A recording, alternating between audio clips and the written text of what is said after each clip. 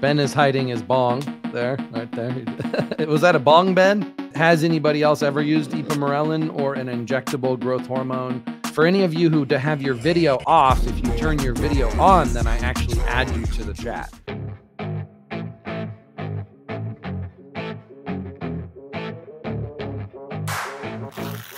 All right, friends of freedom, pioneers of human evolution. This is the first time we're doing this.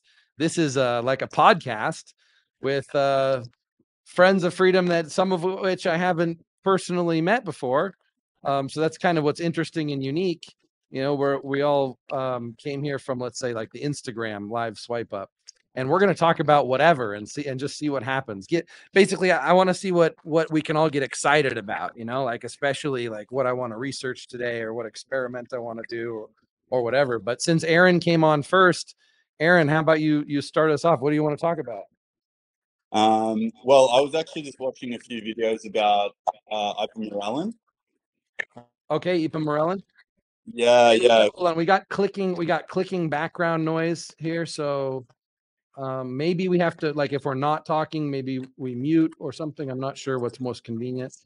And then also, also, um, I see blue confession is on, but it says device not connected, so they need to open up their microphone. Cor- Corvus not so anybody who has their their video on, I can add. So if I see your video and you're on here, then I'll add you. I added Kieran, but he didn't activate his video yet. Uh, so okay, so I have to just keep checking and and seeing if someone comes on, and if they add their video, then I'll then I'll add them to them. Okay, Aaron. So let's talk about ipamorelin. Do you want to change your life? Well, here's the secret in three words perfect your chemistry. 95% of people fail at their New Year's resolutions. So, do you want to be the 5% that doesn't? Kick off the new year working with me personally to optimize your mental performance, physical performance, and your health. And to sweeten the deal, all signups before January 25th get one year free membership of Enhanced Matrix HQ, the best resource to learn everything about performance enhancement. A day natty is a day wasted, so get enhanced with us this new year. Click the link below to schedule a free consultation with my team and learn more. Go for it. What, yeah, what do you think? Because um, yeah, I'm training with you and I have it on my protocol, and I'm just kind of trying to learn a bit more about it and other other compounds that I can take pretty much all the time. I'm interested in, you know. Yeah, yeah, so ipamorelin can be taken all the time because it's got a short half life. It it kind of yeah. mimics the way the body naturally produces growth hormone. There's really no reason not to take it. Yeah. yeah. Yeah. So I'm looking for sort of most of those things that I can just sort of have like a like a new a new base level of my body with you know XYZ compounds and then you know later on i think we're going to look at cycling on and off of a few things. But i think i want to find like the things that will sort of give me a good base without any real side effects that i can use long term you know? Yeah. Yep. Ipamorelin's one of them on the growth hormone pathway. Um yeah. you you uh, you know what time of day you think you're taking it? Um so i take that before bed.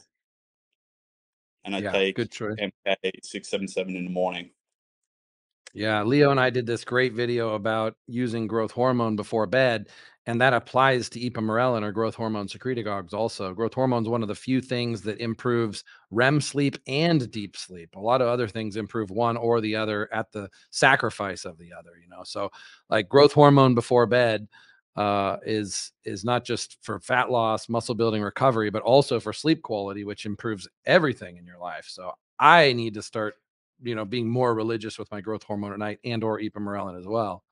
Yeah yeah i've set a timer now every day that i take it at the same time about like 9 30 and my sleep tracker's shown that my sleep's much better when i'm on that. Okay awesome. Yeah. all right anybody else using ipamorelin i'm on ac262 right now. Okay all right junior and ben are on ac262 yeah uh, have you ever have has anybody else ever used ipamorelin or an injectable growth hormone peptide like uh, GHRP6, GHRP2, tesamorelin, and so on? I have not, but I have used uh, oral MK677 quite a bit. Um, my only downsides with that would be the lethargicness you get from that throughout the day is pretty incredible. So it's tough that you take that in the beginning of the day. That's impressive to me. But uh, taking that before bed is something that I really enjoyed to improve my REM cycle. Yeah, if you take MK677 before bed, does it make you hungry at night or all? Or you sleep through the hunger and just get better sleep? Yeah, it does sometimes. I wake up in the middle of the night and I'm absolutely starving. Like I have the munchies from THC is something that I compare it to, but uh, it definitely does increase the hunger. So I have to keep that very low dose before bed. Ben is hiding his bong there, right there. Was that a bong, Ben? I think. yeah, yeah. Uh, um, I'm maybe- I'm actually in lot of us Australia and I'm prescribed. Okay. Yeah. Well, Yeah. that's always the disclaimer. Like, oh, there's there's drugs. Oh yeah, I have I have a prescription, right? No, no, I, I, I do actually. I got it like um a month ago. Yeah. Okay, sure you do. For Ben. sleep. No, I'm just kidding. Of Yeah. course, yeah, yeah. Well, we should always get prescriptions for all the stuff that we use for sure. Uh, Um, okay, we're adding I adding think- Jake also. Yeah, Tony, I think um something that could be looked into is easily getting a TRT prescription. If you're just on SARMs and estrogen, you could easily get a TRT prescription. Yeah, yeah, that's right. Because you you want to you lower your natural testosterone level. Come in, say you got low testosterone, and then they give you a testosterone prescription.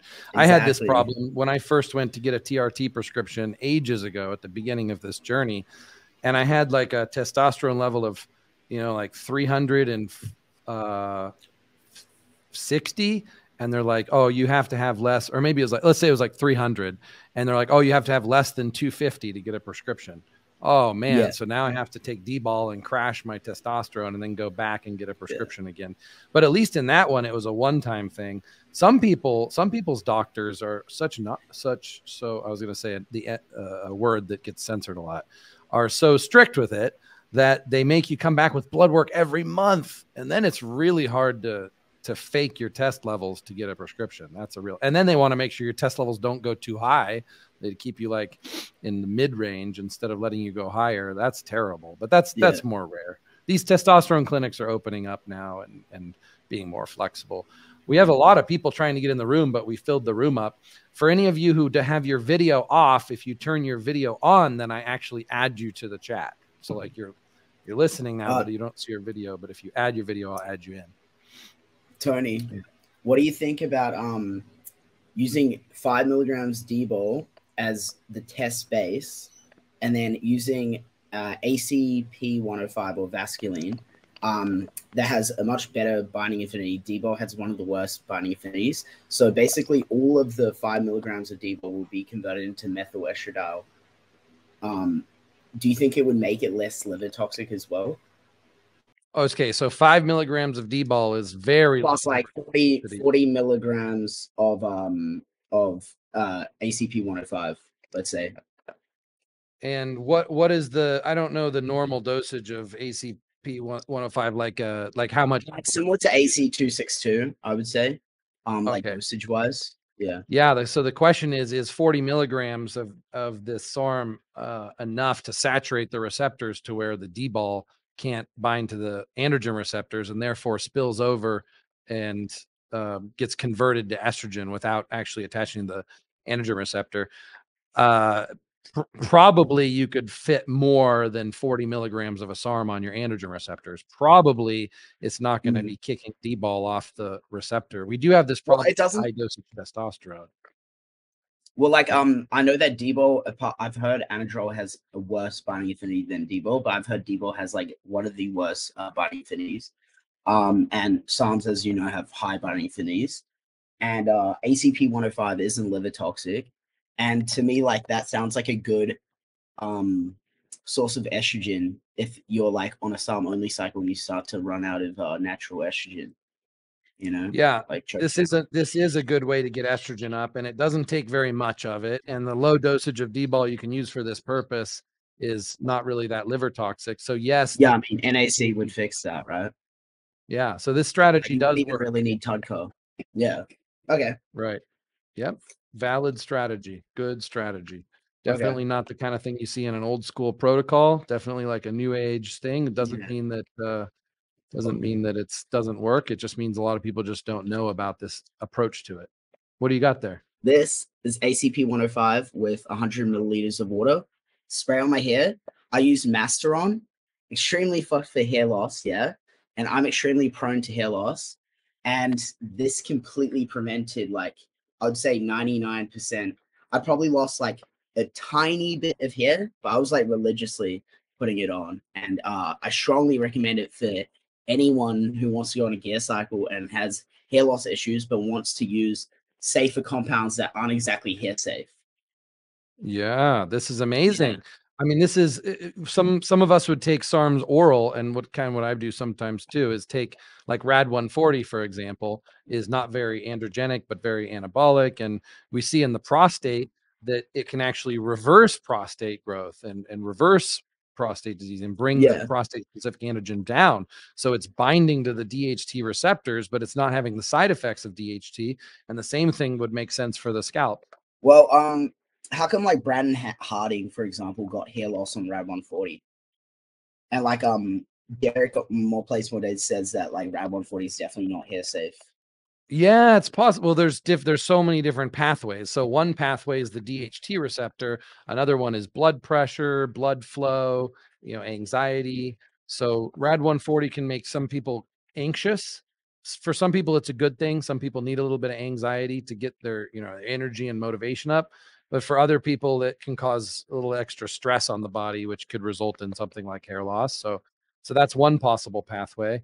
Um, but yeah, some people also use RAD 140 and say that they that they don't lose any hair. So this is one of those These things where would have to use finasteride or well, well, f- yeah, I mean, finasteride with RAD 140 is one way that, um, like Aaron, you know, Dakota in the group. This is one way we treated his hair loss was RAD 140 plus finasteride, and it worked really well. Yeah. Okay, interesting. Yeah, I'm about to in May.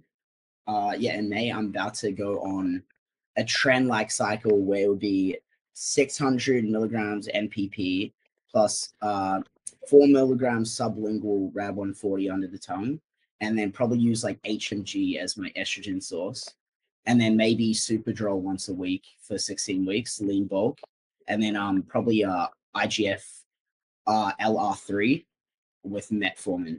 Yeah. Oh, and see how it solid. Yeah. Yeah. Yeah, solid. Oh, and another another thing we should use this for, like, is if you have a topic that you want Leo and I to to research or do, then I can start making a list of that. So uh, you guys can all think about what you want to request of of Leo and I, and then like I'll sit down with him for an hour and I'll go through the Okay. questions and pick ones to do videos on, type thing. Um, I think topical topical psalms, especially topical ACP 105 and AC 262, I would say those are the most hair safe ones. Apart from S4, but S4 has the eyesight issue that most people don't want. Um, yeah, like I've had extreme success and I'm extremely prone to hair loss. Like, um, like before I even touched gear, I had to go on finasteride at the age of 20. Yeah. Hmm. Wow. How did you even come up with the idea to go on finasteride at age 20? Because you had hair loss and then you were researching. I was what is- receding. Um, yeah, I was. I had like um a whole thing where I was like freaking out because I was like losing my hair at twenty. I was like, what the fuck is going on? And then all the all the guys in my family are all bald, like slick bald. So yeah. When you took finasteride, did you get any side effects of low DHT? Um, no, no, no. Which I I just got gynecomastia because uh DHT itself is like masteron where it, it actually like uh attaches to the breast tissue in some way and it has anti-estrogen effects on the breast tissue. Oh, yeah, I for got, sure. A bit of gyno. Yeah. Yeah. Yeah, for sure. That's this is this is my problem too. I'm gonna get the gyno surgery so I don't have to worry about it anymore. Hey, look, it's straight Cody in the house. Hey, what's up, guys? Okay, and Junior just turned his video on, so I'm gonna add him to the stream. We got a lot of other people in here. Tim, Blue Confession, Corvus, Kieran, Goodfella, Chuck don't have their video on, so that's why I wait to add them to the stream unless they have their video on. What we're doing, let me tell Cody what we're doing here. I put an Instagram live link up to invite Friends of Freedom to come on to just chat about anything and see if we can pique our interest about something, see what's on everybody's mind. These people just like clicking on the. There's actually it can only hold 12 people in the room and and it tells me every time there's there's like 50 people trying to get in right now. So I need to increase the capacity of how many people can come on. Yeah. That's really cool. Actually. Yeah. Okay, so we so we covered so far uh Aaron and, and we talked with him about ipamorelin, then Ben spraying SARMs on his hair for to grow his hair. Sorry. Yeah, Yeah, Ben, did that did that help restore hair?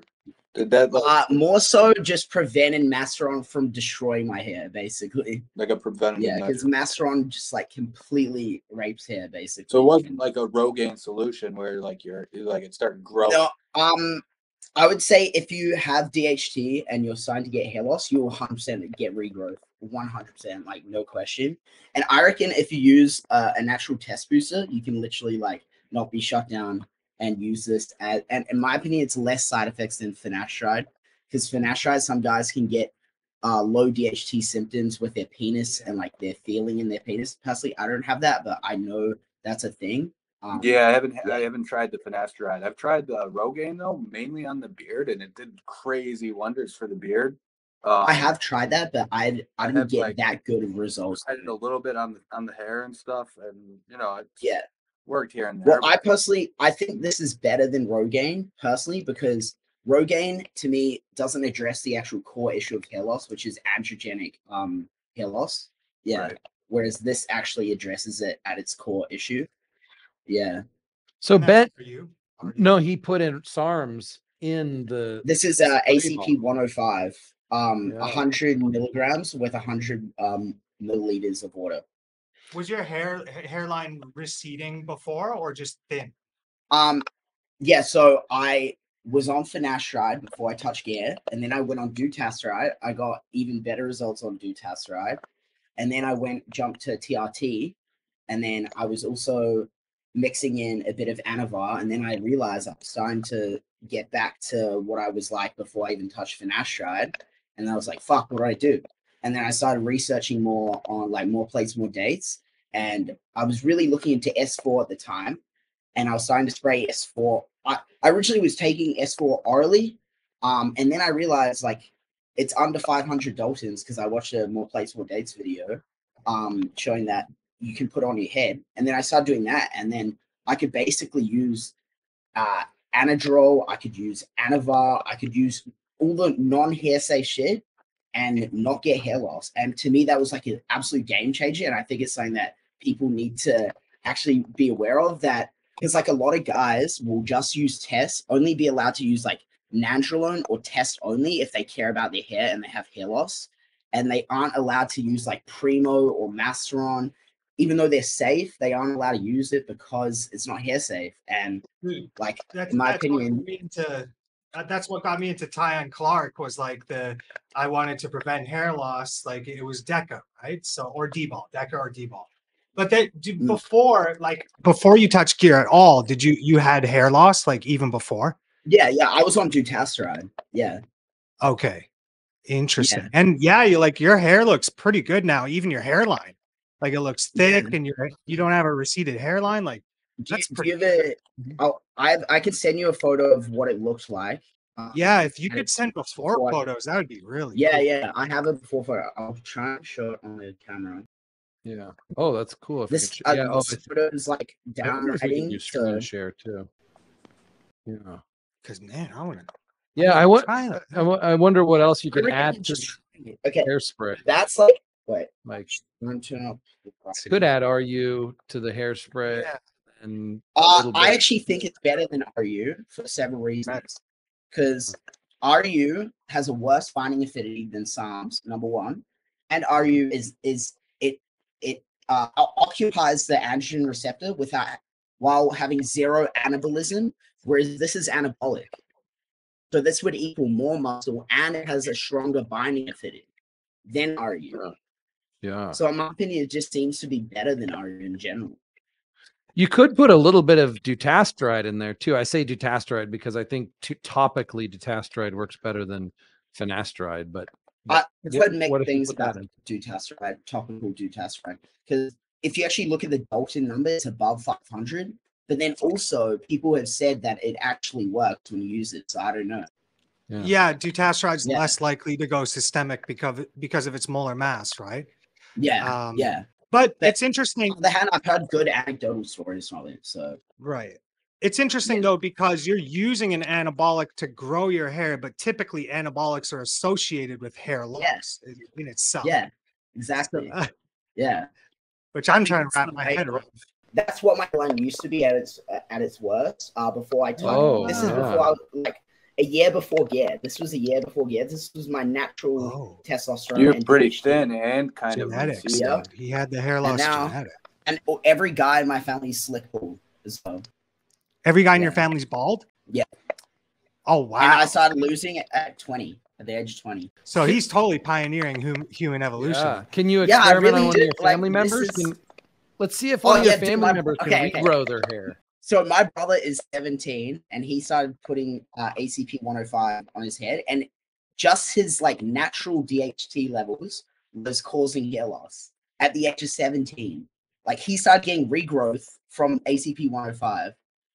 Like, yeah, and we getting blood work with him. His test levels are good and and, and, everything. So yeah, Wow. like I genuinely think like. Yeah. I'm gonna I would I'm gonna delete the It's story real quick. There's too many people. There's like hundreds of people trying to get in, and uh it's I don't want them to get frustrated. There we go. All right. All right. Okay. Cool, Ben. All right. So how about who else has something uh, interesting to to say there? I'm curious about Junior because Junior's got like this gaming headphones, gaming chair. Are you a gamer? Yeah, something like that, Tony. How's it going? What do what do you take for your brain for gaming? Uh, I haven't messed around with any nootropics, uh, nootropics at all. Um, I want to talk to you about AC two six two. Okay. Let's hear about. Let's hear AC two six two. What do you think? Yeah, so I started that, and then just like the muscle fullness within like two hours. Like took it and then worked out like two to three hours later, and the muscle fullness was like insane. Um, what kind of things did you experience on two six two? Yeah, so first the first experiments, actually a long, long time ago, we had people take it at a really low dosage, like 10 milligrams, and I didn't notice too much for of it. I wasn't super excited about it. We had so many other SARMs at the time, like LGD and S23, that were so powerful. We didn't really need to add a, a new SARM just for novelty.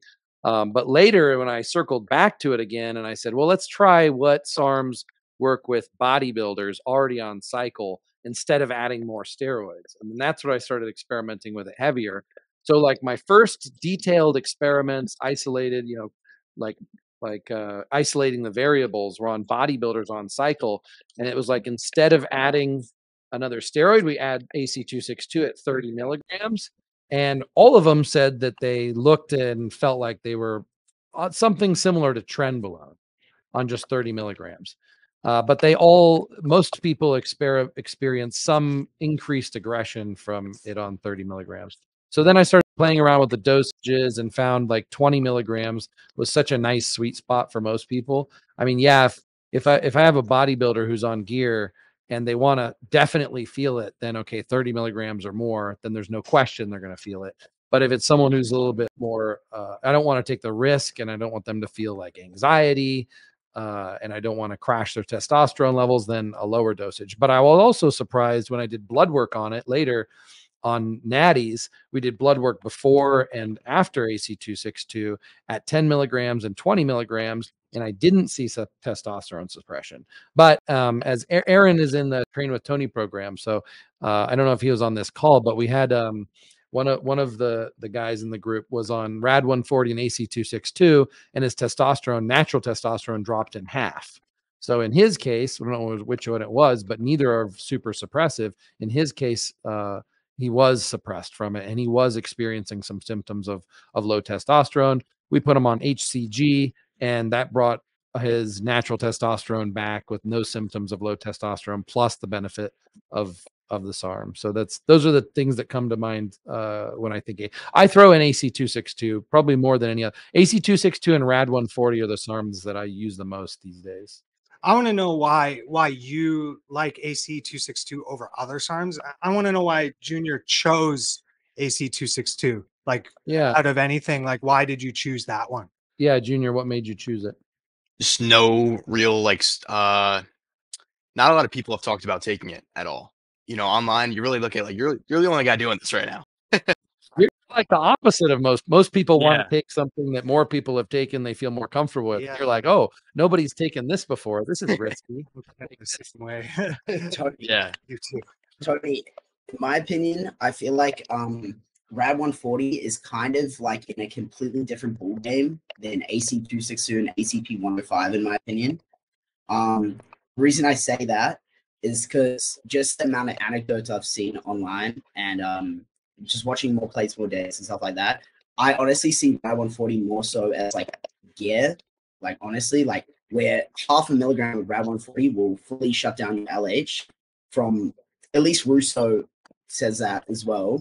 Uh, whereas it seems like 10 milligrams to 20 milligrams of AC262 or ACP 105, on top of having zero hair loss issues, uh, don't fully shut down the LH and FSH um, production. And um, it, I, I think it has to do with the fact that they're partially partial agonist SARMs. So there's three partial agonist SARMs that I know of right now, which is S4 androgen, which has the obvious issue of uh, eyesight issues, whereas the other two, ACP 105 and AC262, I think those are the next game changers in bodybuilding and also in longevity as well for people over the age of 50. I really think those two Psalms are the game changers that we're going to see in the next coming years. Why do you think it's a game changer? Like you think it's important that it's less suppressive so people don't have to take TRT with it? Is that the idea? Yeah, so they could take a natural test booster like um Greg Doucette's G test Sigma or Ox. You got the Ox one and um your UCell natural test boosters. And I think that should be enough to have zero suppression, like literally zero, maybe even more, because SARM's lower SHBG, which means that you're gonna have more free tests.